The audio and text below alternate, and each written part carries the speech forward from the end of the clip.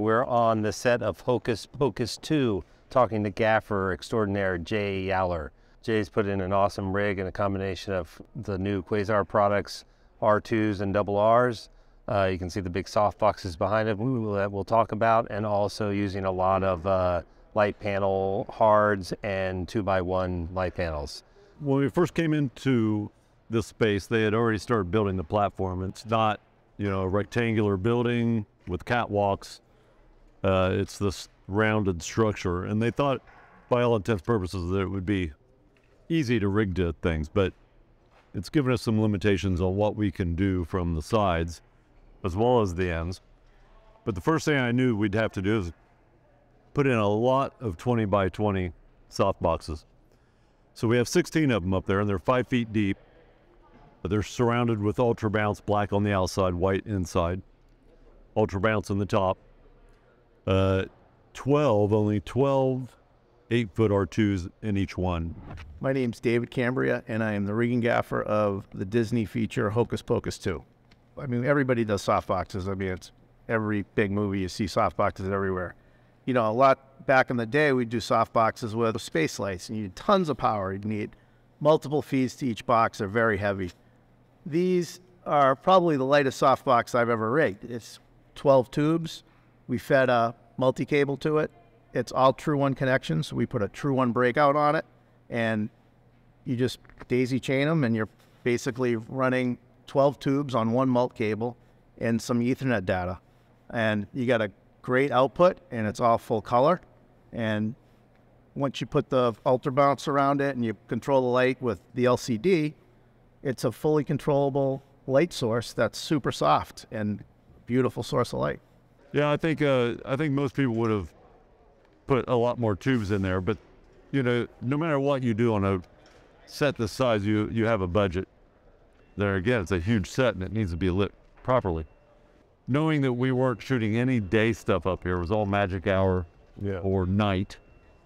I knew that I knew what 12 eight foot R2s would give me from 20 by 20 softboxes. 12 tubes brings this whole thing at this 16 of these up a level. I'll probably never have them at full.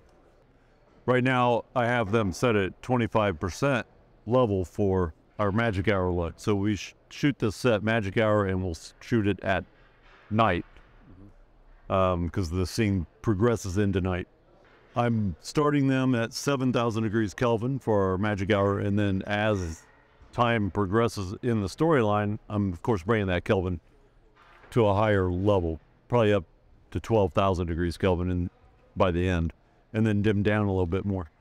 As we layer through other parts of this rig. Um, as you notice in the background below the low side, we have a nice atmosphere in here, and the glow is coming from a whole ring of the new 8-foot R2 Quasar science fixture. The, I push those all the way back to the backing and push them but they're on into the set.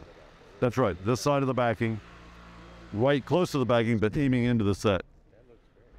And all it is is we use the, the new rail with the sliding pin, super easy.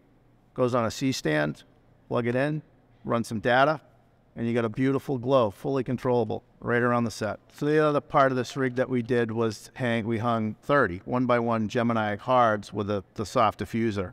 Um, it's a very punchy light, really good color, um, super easy to rig. But you know, these one by one Geminis with the diffusers, you would not, you'd be hard pressed to find another light that would work as well. Well, look how even it is. It's really. The backing's over 500 feet long. And I'm only using 30 Geminis to do what you're seeing here. So now, of course, you, you won't see these lights unless we're shooting without the backing, but this backing will be covering those. Yes. Um, and then this is what our moonlight will look like. Hey, Doc, can you turn on 262, please? At full. Okay, so that is going to be our moon. That looks great. Now, when the when the actors get in here and you start doing some of the the the action and dramatic narrative, what will you use as ground sources for them for key lights?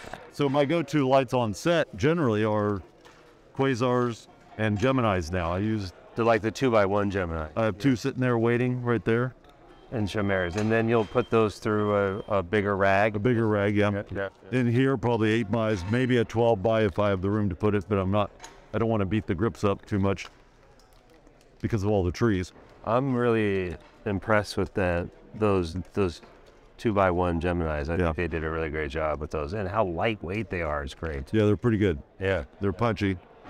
Um, we also have, when all this happens, we also have a bunch of lightning strikes coming in and Oh. strobes because there's going to be a lightning effect when they appear. Um, so that'll all happen as well. We are here on the set of Hocus Pocus 2 with uh, world renowned cameraman Elliot Davis, and he's kind enough to give us a little time to talk about the LED lighting he's doing on the show. Hi, Elliot. How, how's it going? Good. Good. Good. All that control now we have in the DI suite, um, and now with the advent of the where the LED technology is going and having that full color control while you're shooting on set, it's almost like there's two opportunities of grading. Yeah, it's like a level one, level two. Yeah. Maybe you miss it on the first level, you, you can fix it on the second. Yeah, exactly. It's just the expansion of the world of color, of what's possible, you know, because the on set is one thing, and then when you go to the DI, it's like that. It's like ever expanding, which I think is wonderful. To me, this is just an extension of that in putting what you were doing in post into actual practice in production.